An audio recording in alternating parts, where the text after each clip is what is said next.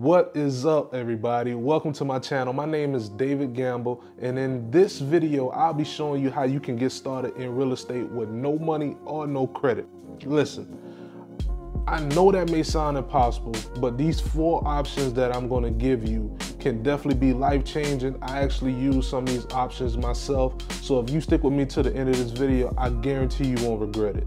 All right, check this out. If you're looking to make 5, 10, 15, 20,000 in the next 30, 60 to 90 days, listen, this video is for you. So just stick with me. Also, if you're looking to generate passive income over the next 12 plus months, this video is also for you as well too because the four options that I'm going to be presenting to you will definitely help with generating the passive income or generating the 5, 10, 15, 20K months for you. Now, I'm gonna tell you now, if you don't have any hustle, if you can't get up early in the mornings, if you can't dedicate the time daily to invest in learning, to invest in just bettering yourself and learning more about the strategies that I'm teaching you, then I'm gonna tell you, you might as well leave out of this video now. But if you're willing to put in the work, just stick with me. And just to let you know, this is not financial advice. This is for entertainment purposes only. Like I said, I use these strategies, some of these strategies, and it definitely have worked in my favor. But it also came with educating myself, putting myself around the right people that is willing to teach, that's willing to give me some input on the strategies that I'm attempting. So it all depends on that as well too. So let's get into it. All right, so this first scenario is one of my favorites. And the reason why is because, listen, you can go two different ways with this strategy. You can potentially make 5, 10, 15, 20,000 in one month from this strategy, or you can create passive income for yourself for as long as you want from this strategy. From a property that you put 0% down on, or you or didn't use any of your credit. This strategy is seller financing. So in a nutshell, if you never heard of seller financing, it's when the seller owns a property free and clear, which means they have 100% equity and they don't have any mortgages on the property at all. So they can become the bank for you. So if they become the bank for you, that eliminates two issues. You don't have to get a bank loan or you don't have to run your credit to even get the loan at all. So in this scenario, you can either flip this property to an investor or you can hold it for yourself and create passive income. Now, I hope I explained that well to you. If not, just leave a comment down below and I'll explain it in the comments as well if that if that is needed.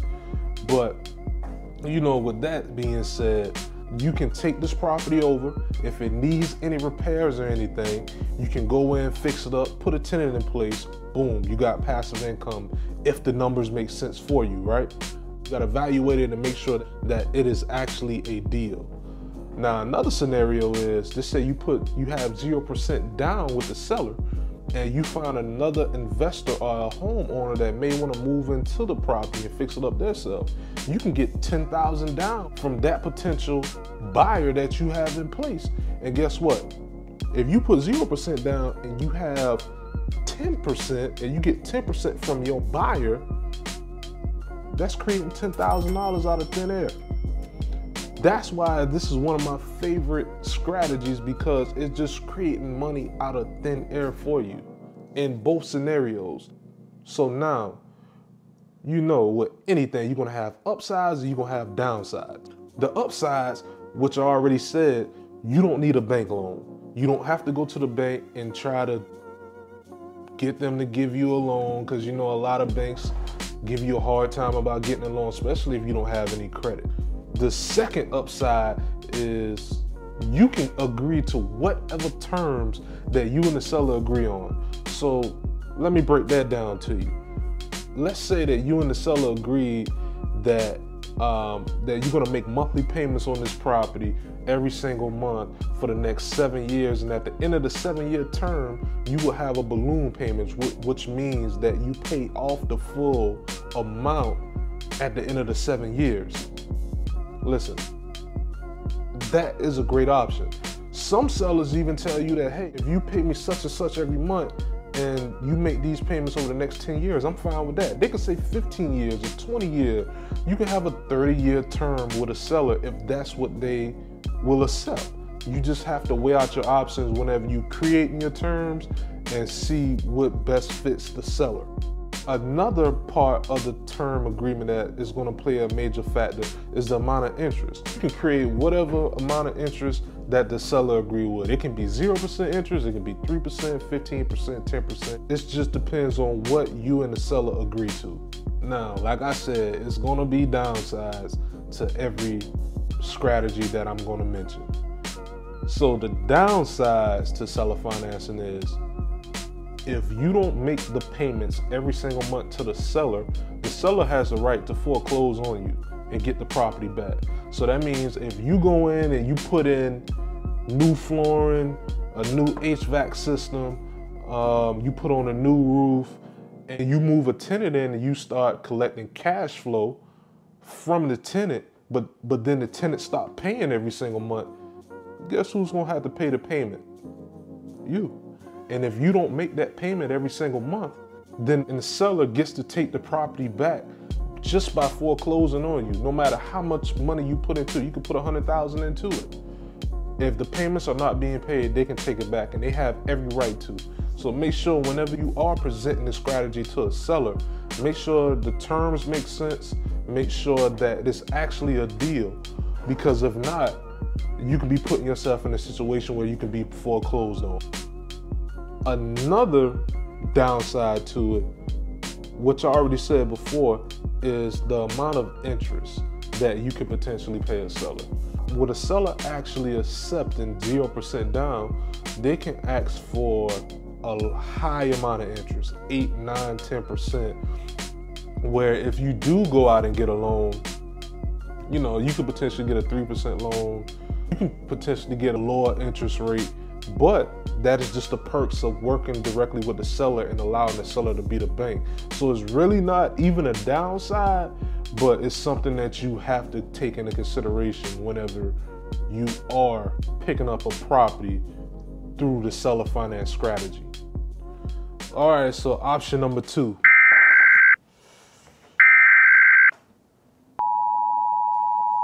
I'm hit hit the subscribe button, hit the like button if this information is good hit, hit this, hit it, just hit it and this will go away and we can move on to option two.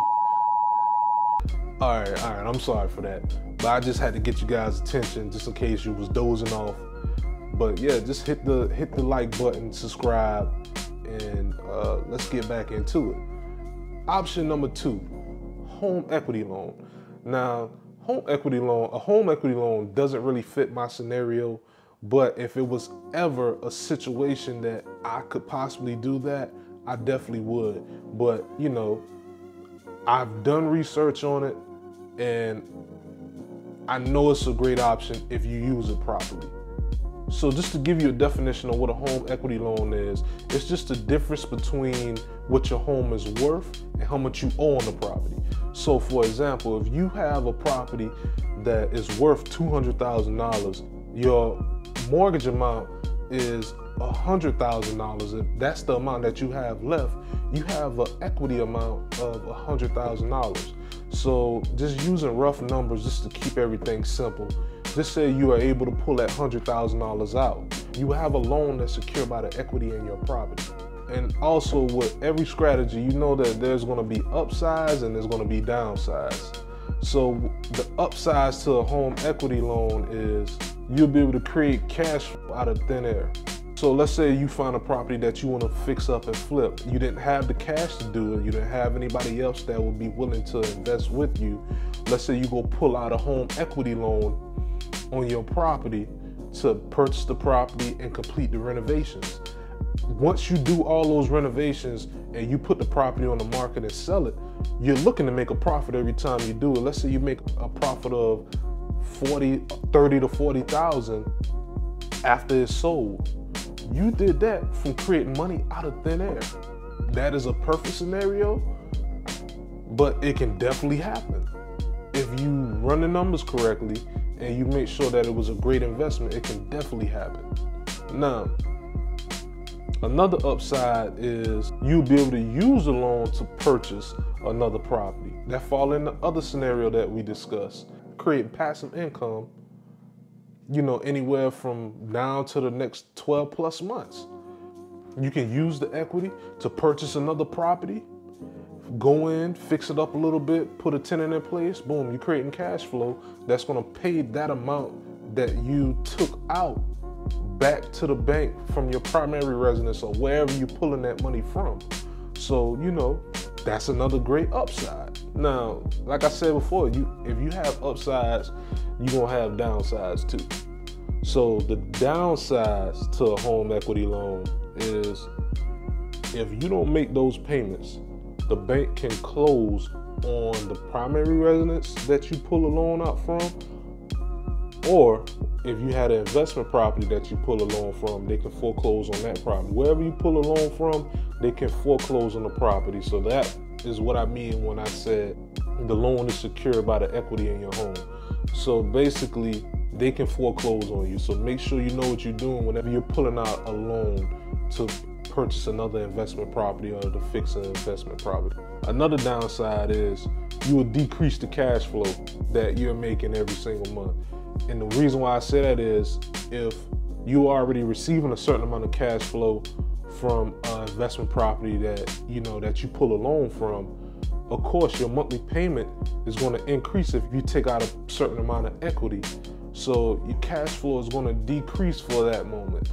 So that's a, a, a minimum downside, but if the numbers make sense, it can actually work out for you. So just keep that in mind. The last downside that I want you to that I want to bring to the table is an adjustable rate mortgage. If you take out a home equity loan and it's um, an adjustable rate type loan, the downside to that is if the rate increases, that's going to bring down your cash flow. So keep that in mind whenever you're pulling out a loan and it's an adjustable rate because the rates can change. So as long as you keep that in mind and you give yourself the wiggle room to where it may adjust, then you should be fine. All right, so let's get into this third option.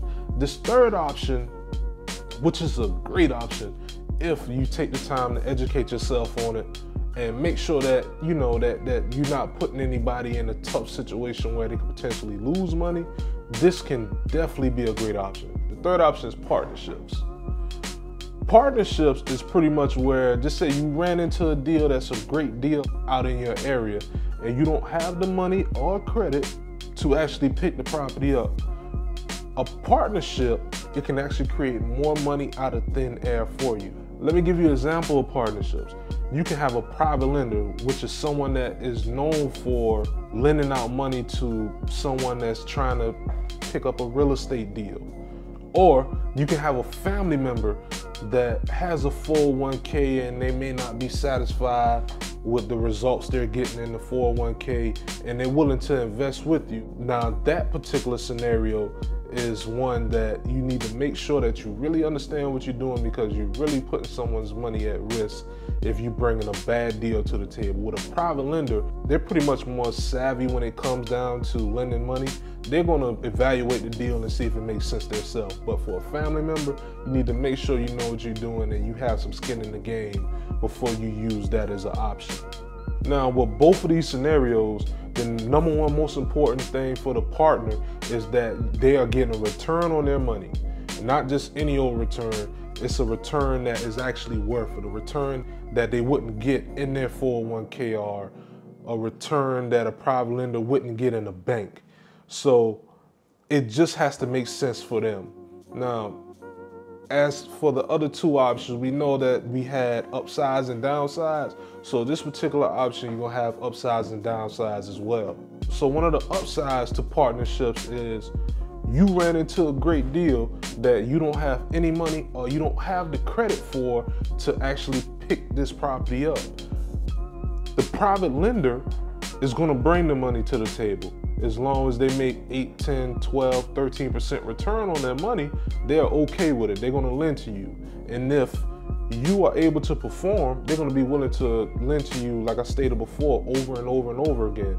Or let's say that family member, let's say that you don't even need them to pull from their 401k, or if they don't have a 401k in place, but they have excellent credit, you can use that family member to go and get a loan you can get that family member to go and get a loan because they're going to qualify for one if they have the income and the credit. And then you can use that money to invest in that property that is a great deal and they get a return on the money that they borrow for you. So it's a win-win situation for you and your family member or you and the private lender that you have in place. That is the upsize to a partnership you're creating that money out of thin air or you're creating that credit that you need to qualify for a loan out of thin air. So you see, that is the upside. So now you know we're gonna have downsides as well too. So one of the downsides to partnerships is they may have a say-so on the deal or what you're investing in or what you purchased to fix the property up if you didn't have it in writing saying that you have full control they're just providing the funds to get the deal done. So that can definitely be a downside if, if you and your partner are not seeing eye to eye. Another downside, which I don't really see as a downside, but it can potentially be one, is smaller profits. If you and your partner agree to split 50-50, of course you're not getting 100%. So if, if you were gonna make 50,000, you and your partner will have to split that 50-50 so you'll get 25 and your partner get 25 now that's not a bad that's not bad at all but for some people that may be a downside. Now this particular downside that i'm getting ready to tell you can definitely be a deal breaker because if it's delayed decision making, that is going to potentially cost you money every single day. The longer it takes for you to fix your property, or the longer it takes for you to get the property in the condition to where you can actually rent the property out. So delayed decision making can cause major issues if you and your partner are not on the same page or your partner is procrastinators. That's something else you want to keep in mind as a downside. The worst downside is possibly putting your friendship at risk when it comes down to a family member. Sometimes things happen to where it may not work out. So if it doesn't work out and someone money is tied up in it, that could potentially cause issues with a friendship. You know, private lenders, that may be a little bit different because that's more of a business transaction with someone that you built a relationship with, maybe at a networking event or something like that. But a family member, of course, there's trust there, there's some type of loyalty there, and you don't want to ruin it. That's why I say you got to make sure that you verify that this is a great deal. So you definitely will want to keep that in mind as one of the top downsides to a partnership. All right, let's get into this last option. I'm excited about this last option because this is the option that got me started in real estate when I had zero dollars in my pocket or when I was just making it day by day. The last option that I want to present to you, which is the top option for someone with zero dollars or they don't have any credit, is wholesaling. Now, I'm going to tell you, wholesaling is something that you have to spend time learning how to do. You got to be willing to hustle. And if you don't have any money, you definitely got to be willing to put in a lot of time in order to generate cash out of thin air using this strategy.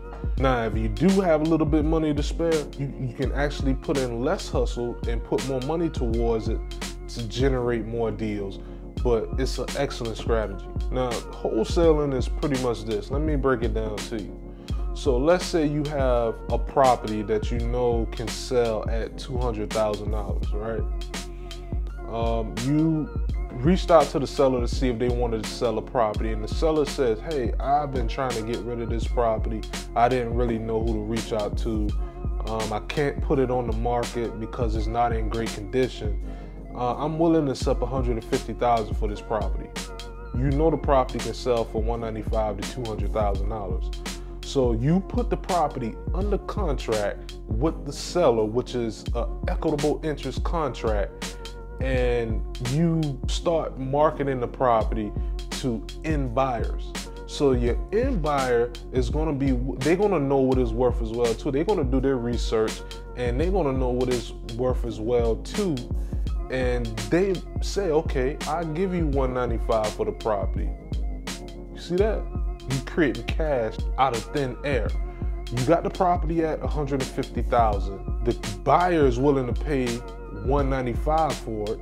You just created a $25,000 assignment fee from just putting a property on the contract that a seller say that they want to sell and you found an end buyer that's willing to pay you 195 and you made $25,000.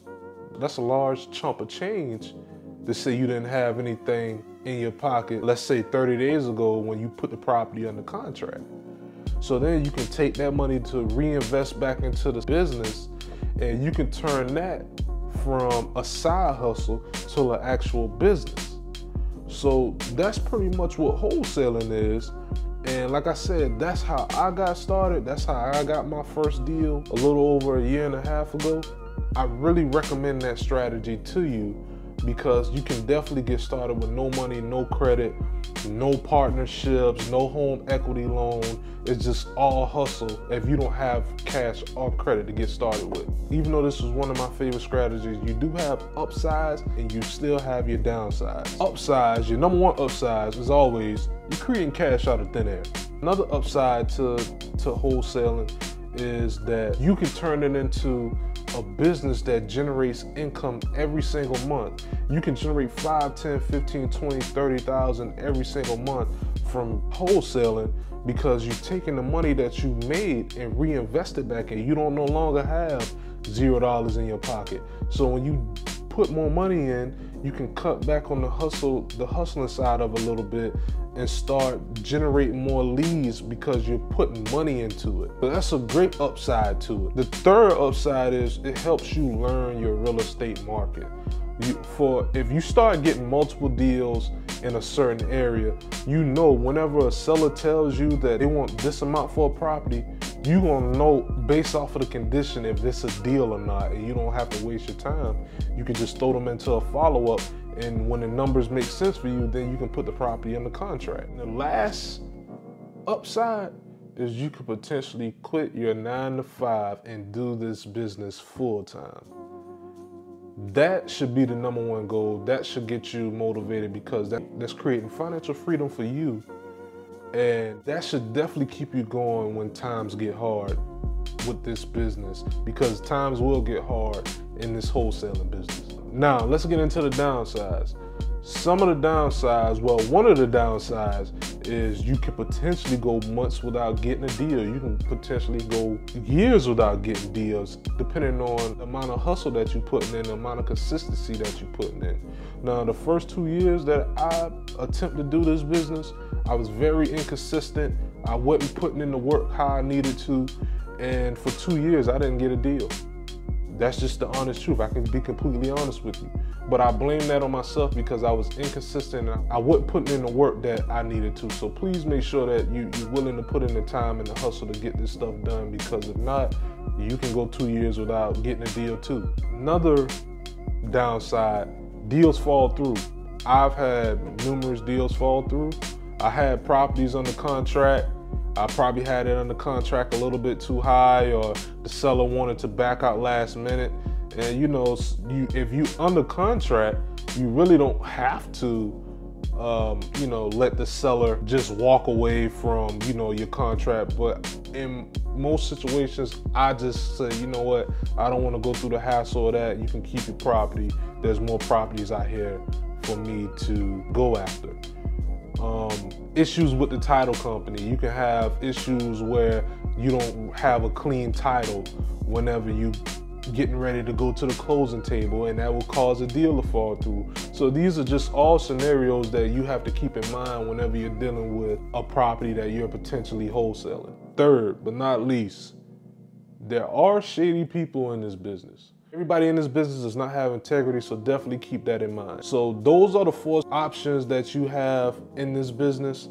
And if you enjoy this video, definitely like this video, subscribe to my channel, and click the notification bell. And I'll definitely be putting out more content.